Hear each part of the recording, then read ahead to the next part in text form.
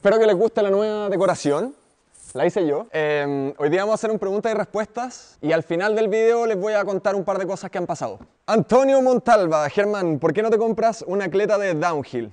La verdad, no tengo contemplado el gasto en una bicicleta de descenso y desde que salieron las endureras lo hacen todo, puedo llegar arriba solo y tirarme para abajo casi como una bici de descenso, así que por lo versátiles, para mí era la única opción. ¿Cuál es tu oficio? He trabajado en varias cosas, pero por poco tiempo. Al trabajo que más le metí ganas en mi vida fue a un emprendimiento de filmación y fotografía aérea con drones. Y me mantuve haciendo eso harto tiempo hasta que el, el mercado colapsó. Casi al mismo tiempo empezó el canal de YouTube y tenía plata guardada para algún proyecto. Y con lo del mountain bike, como que el camino a seguir era una mini excavadora. Así que ahora estoy súper alejado de los drones, pero estoy tratando de hacer mis pegas con la mini excavadora. Enfocado casi 100% a mountain bike. Eso después quedará público, ya que me queda relativamente cerca. Quiero aprender. Inicia, invitación Peñaflor. Día al niño. ¿Cuál es ese? Ah, el, el parque de Peñaflor. Normalmente para hacer un proyecto de esa magnitud uno tiene que contactar al privado, proponerle el proyecto, ver si le gusta, de guía que te digan que sí. Puede pasar harto tiempo. Esto fue bastante idílico. Y es que el dueño del terreno, con su yerno, que le fascina el mountain bike, tenían ganas de hacer un proyecto para la comunidad. Eh, los motivos por los cuales lo hacían eran bacanes, así que nos contactaron a mí, a Christian Prime, para que veamos si era viable lo que ellos tenían pensado. Y con el pasar de los días nos dimos cuenta con Prime que estaban realmente remando para nuestro mismo lado y querían hacer esto realidad. Así que Nacho, Don Octavio, muy agradecido a ustedes dos. Creo que ya Don Octavio ve los videos de YouTube. y la idea es que el parque sea eh, de mountain bikers para mountain bikers y tratar de recibir el apoyo de la comunidad en lo que es orden, respeto, mantención, trato entre los que estén ahí y obviamente bajo el requisito de que todo esto sea gratuito. Así que más adelante vamos a tener que ver la manera de financiarlo para poder mantenerlo operando y poder mantenerlo gratuito. ¿Cómo es que manejas de todo? El Bobcat. Creo que todos podemos manejar de todo, pero no ser los más hábiles en eso y con el Bobcat, sinceramente, creo que era un desastre. Hola Germán, ¿cuánto cobras por un pump track? Ay, aquí, acá hay algo que les quería contar. La idea de los pump tracks era un bonito proyecto, eh, hacer pump tracks gratuitos. El primero que hice de esa manera fue el del Estadio Lucas Pacheco, pero cuando me llamaron de Yayay me di cuenta rápidamente que los costos de transporte y de máquina subían bastante. Así que lo que les propuse fue cobrarle el costo de petróleo y transporte y lo que era diseño de pump track y operar la mini lo hacía yo, ni un problema, gratis. Así que a ellos les pedí el costo y lo que ellos hicieron fue depositarme más del doble por la buena onda, que se lo agradezco un montón. Por otro lado, un pump track que hice que era de más bajos recursos, me sentí pésimo con solo cobrarle el costo. Entonces me di cuenta que estaba haciendo demasiado... Ahí me di cuenta que me estaba faltando alguna especie de filtro si me proponen un proyecto que considero que es de bajos recursos y hacer el pump track uniría a los chiquillos y los ayudaría a meterse más en el deporte, esos pump tracks intentaría idealmente hacerlos gratis o a costo, en caso de que esté muy lejos o algo por el estilo, y crear alguna especie de filtro para las municipalidades que tienen más recursos, cosa que todavía no he pensado mucho, pero ya se me ocurrirá. Germán, compraste la BMX, deberías subir uno que otro video en BMX. la BMX que tengo la compré hace mucho tiempo, para básicamente tirarla al agua y pasar un buen rato con los amigos. No me salió muy cara, e incluso cotizaba usadas que eran más caras que esta nueva, así que me la terminé comprando nueva y, y la ocupé mucho tiempo para andar pump track mientras estaba andando en moto y no tenía bicicleta para ir al cerro. Y considero que esos años de haber andado en esa bicicleta me puede ir yo bastante con la técnica sobre la bici. Regálame un casco. Habían otro escribiendo, regálame una bici. creo que comentarios como estos hacen pensar que Cross Mountain, GoPro, Lickimoly me pagan mucho.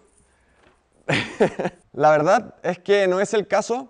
Básicamente ellos me ayudan con los implementos que yo necesito para andar en bicicleta y desde mi punto de vista, como más me apoyan ellos económicamente, es que reduzco mucho los costos, así que por eso les agradezco un montón. Y en términos de pega la cosa está lenta, así que no es que pueda andar regalando cosas a tontas y a locas. Han, han salido pocas pegas pagadas con la Mini y este último mes además el wifi de la casa está muerto, así que he estado pagando por subir videos en el wifi móvil que me compré. Qué desastre, güey. ¿Cómo haces para estabilizar los videos? Saludos, bro. No ocupo estabilizador de videos y si creéis que lo hago, creo que tienen una visión errónea de estabilización de video. Para mí esto es estabilización de video.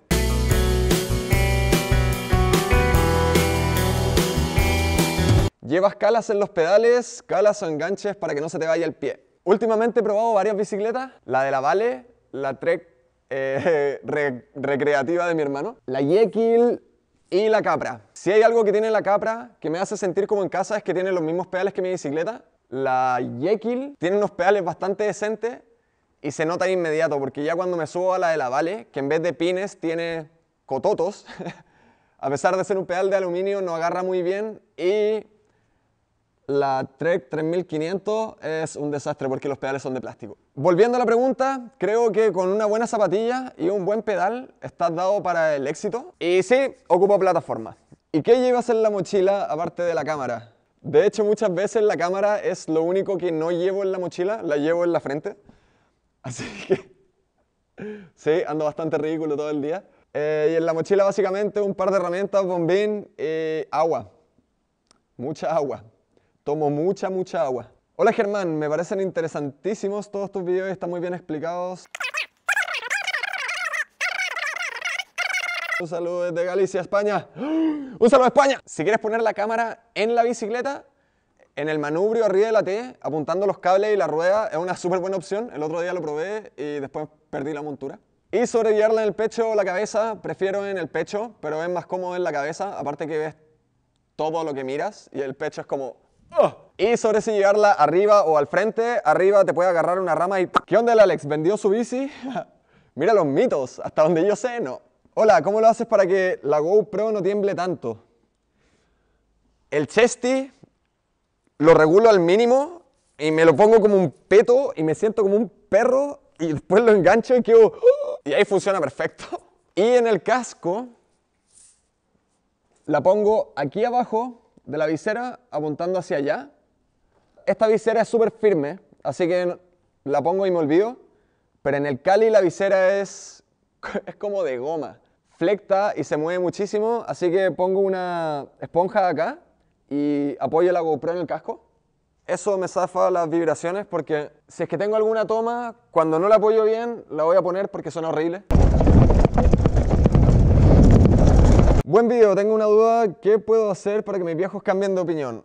A ellos no les gusta que haga este deporte y dicen que es muy peligroso, ya que ya estoy practicando el deporte en un circuito pero no lo saben. ¿Y por qué ese signo de interrogación? La verdad es que esta pregunta más que respondérsela a Ezequiel, se la respondería a los papás. Y soy un cabro chico, todavía no tengo idea de ser padre, pero creo que una de las primeras cosas es la confianza. Tu hijo no va a ir a tirarse un cortado de 20 metros porque se le pasó por la cabeza, se va a cuidar y tenéis que confiar en eso. no veo muy bien que Ezequiel le diga a su mamá eso, pero si, otro papá le puede decir eso al papá de Ezequiel, podría salir algo bueno. Like si quieres que la Vale se quede con la Yekil. Esa era la idea, pero la Yekil está fisurada. ¿Qué será de la carrera del 3 de septiembre? Uh, la carrera de bomberos la estamos posponiendo Em, la verdad ahí se cometió un pequeño error de gestión que se puede haber evitado, pero el tema es que no tenemos el permiso, así que en la página del evento debería estar toda la actualización sobre el tema. De hecho, con respecto a eso, los voy a dejar locos. Este era el casco bomberos para el casco. Íbamos a hacer un video con este. Quedó todo congelado cuando se supo que el permiso del cerro no estaba, así que hasta nuevo aviso. y eso era todo. Hay un par de puntos que quiero tocar. Uy, bomberos, ya lo toqué. Parque, ya lo toqué. Auspicios, auspicios, auspicios. Auspicios. Me han tocado un par de conversaciones chistosas últimamente con, respecto al tema de los auspicios. Como para contar un par de anécdotas, eh, llegó el otro día un tipo